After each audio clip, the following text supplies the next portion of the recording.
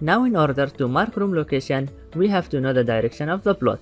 For proper plot direction, we have to make a site visit to the plot location. And with the help of a compass, we can measure the inclination of north direction from the front direction of the house. Inclination for our plot comes out to be 95 degree from the front line. Instead of a compass, we can also use mobile to measure the inclination through compass app. Move the phone in the north direction. Tap to start measuring the angle, move it to the front direction of the house. This is also give us 95 degree angle. There is also a third rough method to measure inclination through Google Maps. Look at the exact position of plot on map.